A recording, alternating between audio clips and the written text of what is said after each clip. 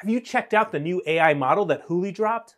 I noticed the license wasn't Apache or MIT, which means now I have to go ask legal. It does say commercial use is permissible. Is this another one of those huge models over 100 billion parameters? No, it comes in a 7 billion and a 20 billion parameter size, so pretty usable. Nothing more annoying than a free model that takes an entire cluster to run. We've got some good benchmark results on MMLU and HumanEval for coding. I know they can be gamed, but it's looking promising. I'm always skeptical about those benchmarks. Did they tell us anything about the training data or the training process they used? The Hooli model isn't telling us about the training data, but they did tell us a little bit about the training process, like how much training data they used and how much compute they've used. Hmm. Does it work with my standard libraries? Can I fine tune this? The architecture is pretty standard, and they've already released code so you can fine tune the model.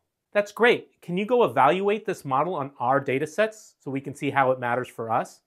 And by the time you're done, legal would have probably finished looking at the license, and I bet there'll be a new model for you to look at.